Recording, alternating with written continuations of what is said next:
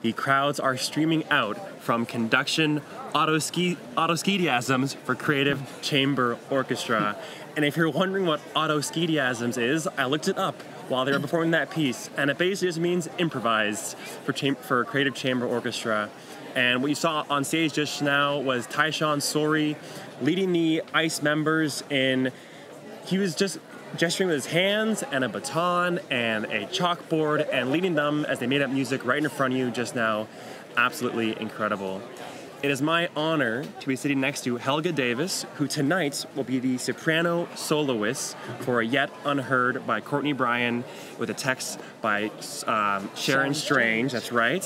Um, and it's the world premiere the chamber version of this piece. So happy to have you on the show. I'm so happy to be here. Thank you. So you've been here the whole weekend so far, Mm-hmm. and you've caught some of what is the Ojai-ness of this whole place and the community. What's your take on Ojai so far? What's really great for me about being here is seeing all the people come together around music. This is the thing that I think is the most important thing about being here. Uh, I, I was here for a little while last year, and so there are people here that I was familiar with then who are here again. Some of the musicians who are my colleagues and friends are here again. So it's really, really great to come back and to be a part of this kind of coming together around music. Absolutely. Let's talk about tonight and the premiere. Before we do, Oh, I wanted to say one thing about what Tyshawn was doing. Oh, great. So he called it a conduction, which is a method that was developed by one of our mentors and also Vijay Iyer's mentors, Butch, Morris. Yep.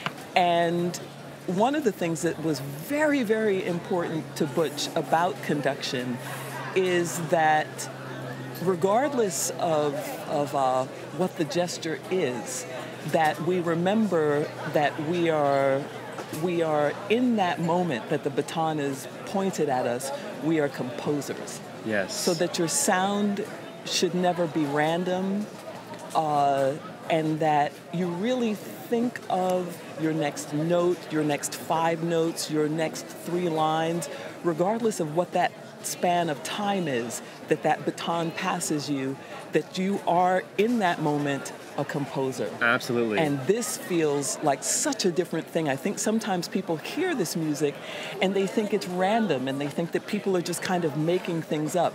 And it is not that at all. You really are taking all of your experience of a particular moment and creating a piece around a composition around that moment. And whether that moment is three seconds or three minutes, that you are the composer in that moment. And it's it's such a great system uh, because everyone can learn it, for one thing. And it works with all kinds of creative endeavors. You can do it with dancers. Butch did it with DJs, uh, with painters, and with poets. So it's it's. I just wanted to say that. Oh yeah, please yeah. And then the result is a- this beautiful organic experience, and the audience submits to it, which is incredible. but it's a crafted moment. Yes. It's not a random moment. And Absolutely. That's, that's the difference that I want to make. I think uh, sometimes people hear it and they think, what are they doing? Uh, and, and they don't realize that they are that we it's spontaneous composition. yes, absolutely. So thank you for allowing oh me to no, say that. please. Yet So tonight, not spontaneous, unheard. not not spontaneous, spontaneous. Not spontaneous. Why don't you start all. with the story and the text? Well, this is Sandra Bland's story. Sandra Bland died, it'll be two years ago on July 13th. And she was arrested in Texas on the 10th of July, and she was held for three days, and uh, and it was deemed a suicide. No one has ever been prosecuted. Uh, the police officer who arrested her was eventually fired from the police force, but the the grand jury never felt that there was reason enough or cause to investigate her death further. What is beautiful for me about this piece of music and, and why it feels so important to me is because it asks a very, very, very fundamental question right off the top. which is what did he see?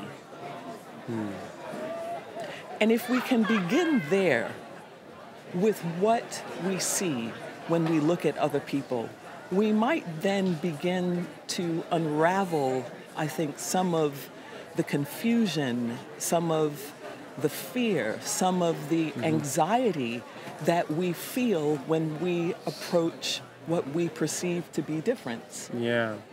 And the question after what did he see is what did he feel?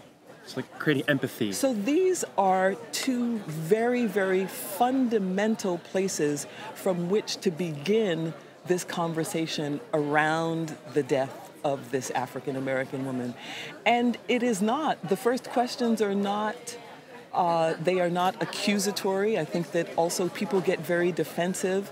Uh, and regardless of what side of the spectrum you fall on, whether you are a person who feels that that police officers are doing a job and that that job is hard and that they risk their lives, or you are a person from another side who has had a lot of experience or negative experience with police officers, it begins first with seeing and with feeling. And I love, I love that this is the place that we begin this conversation. yes. So uh, once I get those two lines out,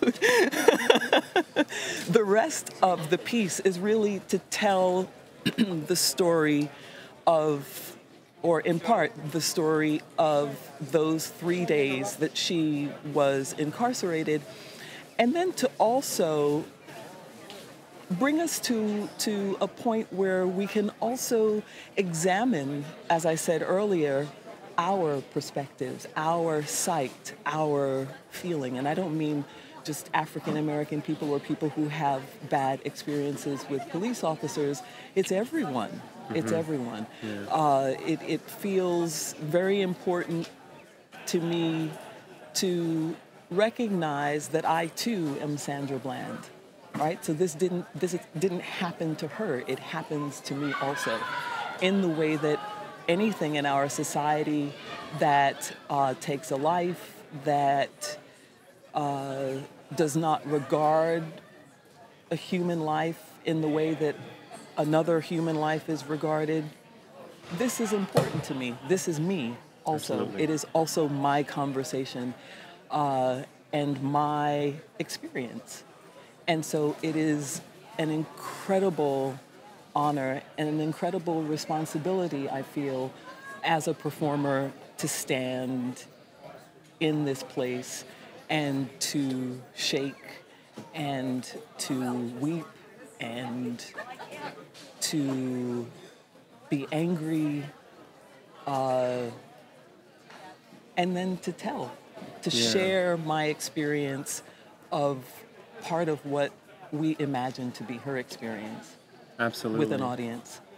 Can you talk a little bit about the maybe about the larger text in general, maybe how the, the, the larger form works the whole piece and how the story is told? Or do you want to save that for the audience for tonight?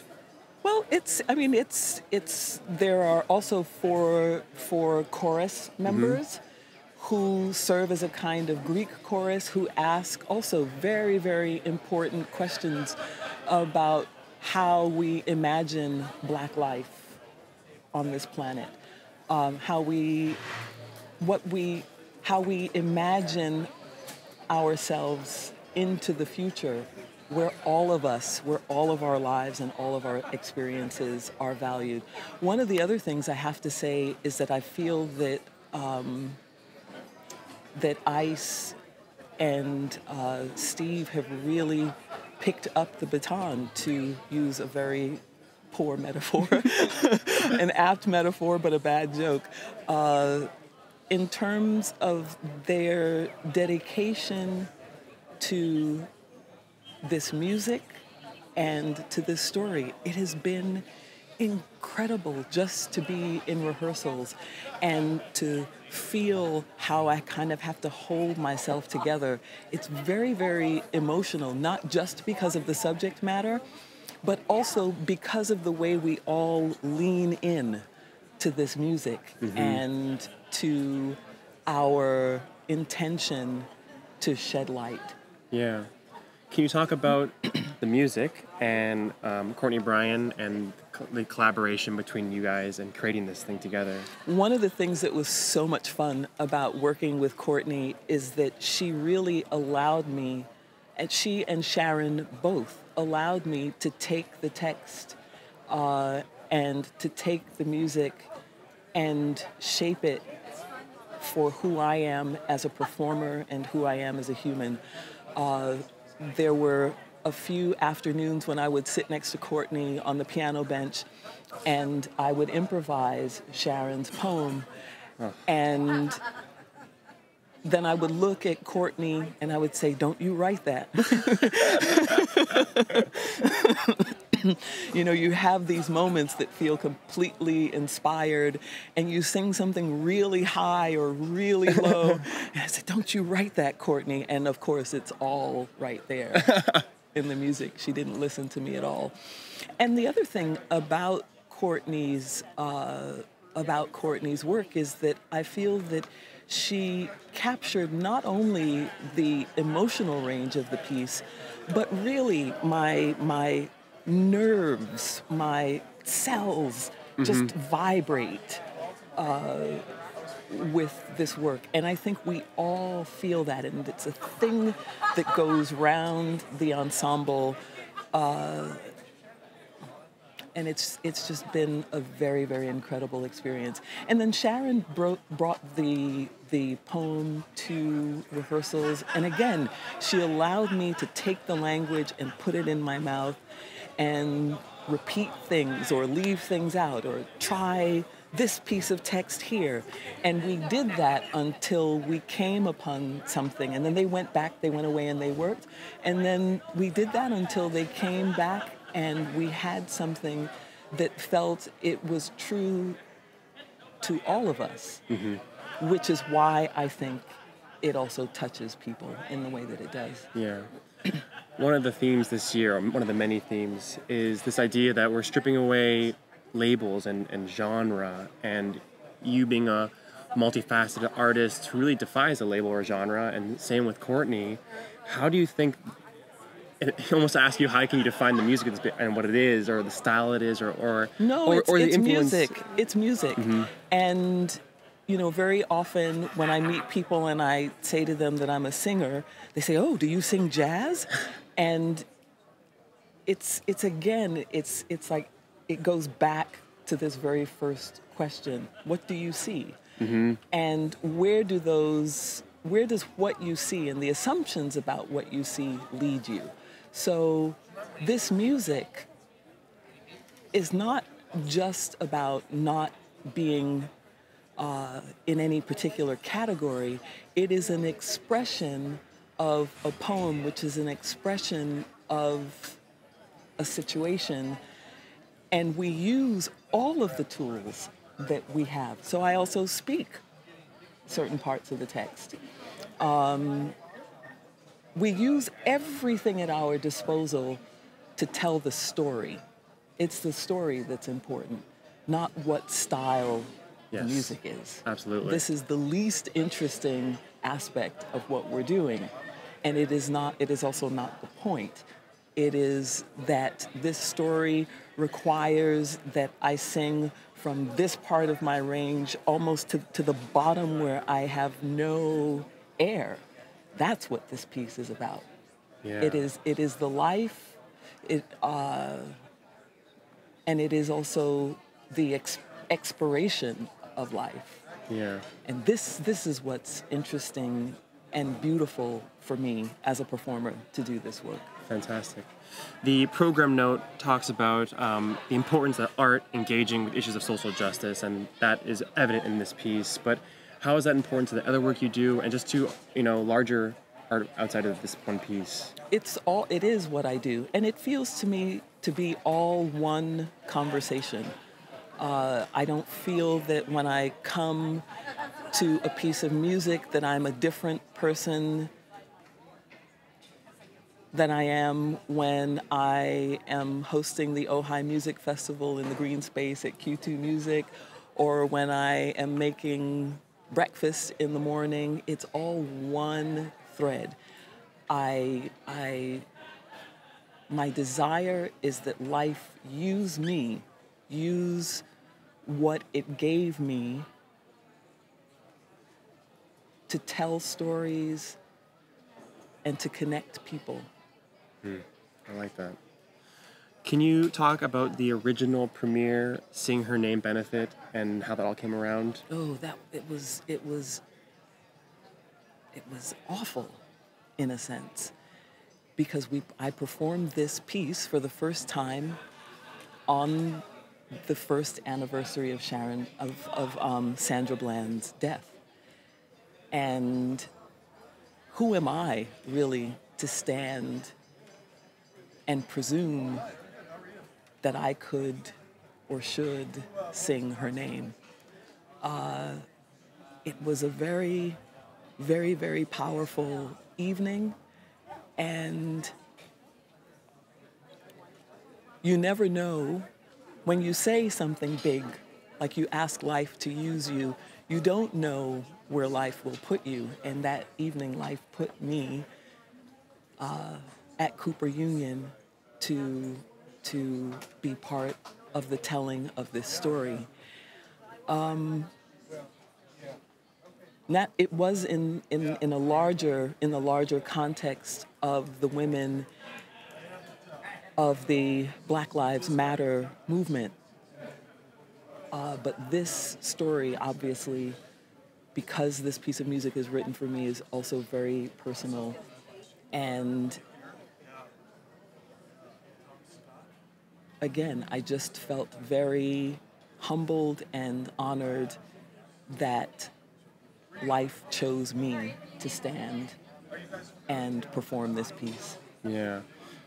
Yesterday, Jen Shyu, one of our soloists here with the um, with Ojai, said in her interview um, that she her goal is with her singing is to change the conscious of her audience and change the way they think.